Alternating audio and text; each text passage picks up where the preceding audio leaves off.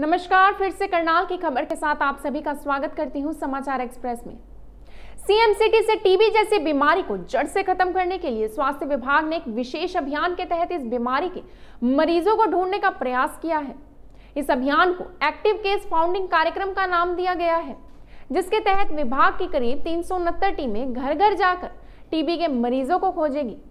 इस दौरान विभाग द्वारा चालीस हज़ार लोगों की स्क्रीनिंग की गई। तथा 400 से अधिक लोगों के सैंपल जाँच के लिए भेजे गए हैं, जिनकी रिपोर्ट आना अभी बाकी है।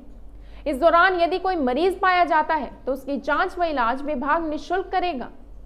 आपको बता दें कि टीबी बैक्टीरिया से होने वाली बीमारी है, जो एक इंसान से दूसरे इंसान में हवा के माध्यम से फैलती है। यह आमतौर से फेफड़ों से शुरू होती है। खांसी और छींकने के दौरान मुँह और नाक से निकलने वाली बारीक बूंदों से भी यह इंफेक्शन फैलता है। अगर टीबी के मरीज़ बहुत पास बैठकर बात कर रहे हैं और वह खांस भी नहीं रहे, तब भी इंफेक्शन का खतरा बना रहता है।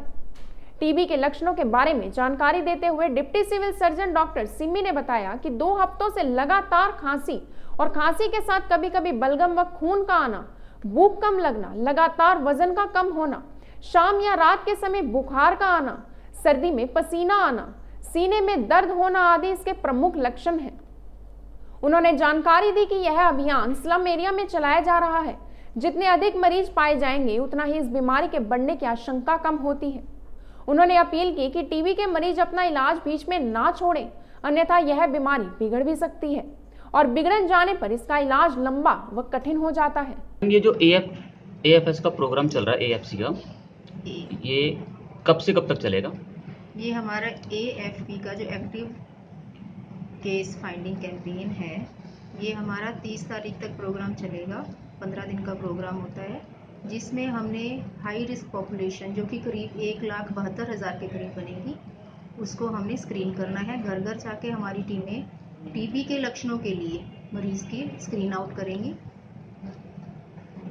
तो मैम अभी तक कितने हो चुके हैं स्क्रीनिंग अभी तक करीबन हमारी 40,000 के करीब पॉपुलेशन स्क्रीन आउट हो चुकी है।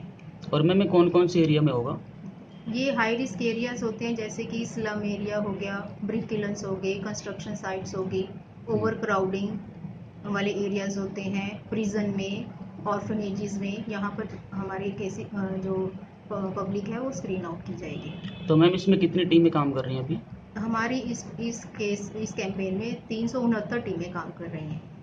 और एक टीम में कितने सदस्य होते हैं? एक टीम में दो सदस्य हैं और उसमें एक आशा वर्कर और एक हेल्थ वर्कर को लिया गया है। और मैम कितने सैंपल्स आ चुके हैं अभी तक? अब तक करीबन 400 सैंपल हमारे पास आ चुके हैं जो कि लैब लैब में हमारे जो एल हैं उनको उनकी जाँच कर रहे हैं। और उनका अगर जिनका पॉजिटिव पाया जाएगा उनके साथ? उनका तुरंत ट्रीटमेंट शुरू किया जाएगा जो कि निःशुल्क होगा जो टीबी का हमारी जो स्क्रीनिंग है से लेकर उनके टेस्ट से लेकर और उनके जो ट्रीटमेंट है वो सब निःशुल्क हमारे स्वास्थ्य केंद्रों पे मिलेगा एक मैम ये एम डी आर है जिसको हम मल्टी ड्रग रेजिस्टेंट बोलते हैं।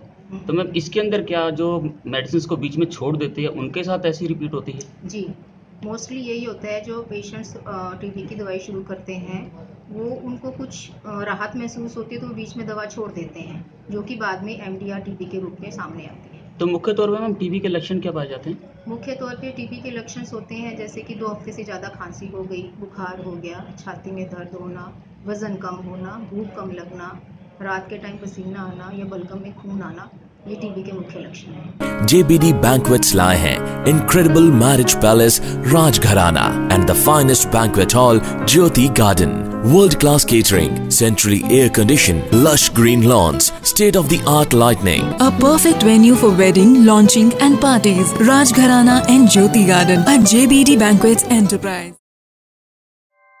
ऐसे ही लेटेस्ट खबरें पाने के लिए बेल आइकन को क्लिक कर हमारे चैनल को लाइक शेयर एंड सब्सक्राइब करें धन्यवाद